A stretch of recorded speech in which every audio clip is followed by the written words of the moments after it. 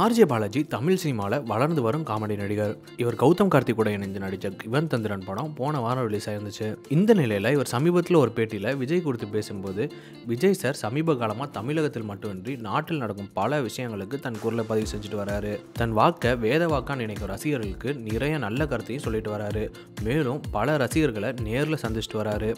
குழந்தைகளோட அறுவை சிகிச்சைக்கும் உதவி பண்ணுறாரு சமீபத்தில் நான் அவரோட மேடையில் இருந்தப்போ அவர் விவசாயம் குறித்து பேசியது எனக்கு ரொம்ப ரசிக்க வச்சிருச்சு அப்படின்னு சொல்லியிருக்காரு ஆர்ஜே பாலாஜி.